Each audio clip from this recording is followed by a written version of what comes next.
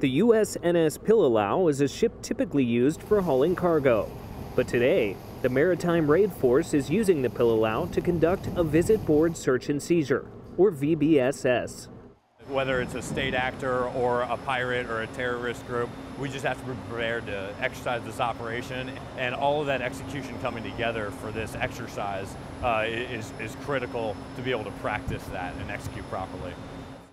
Secure the bridge, take control of the ship, and track down the high value target. It all boils down to one objective for these Marines to be able to exert our will at any place at any time. The exercise is part of amphibious integration training, which strengthens the working relationship between Marines and sailors. Reporting from the USNS Pililau, I'm Air Force Staff Sergeant Tory Cusimano.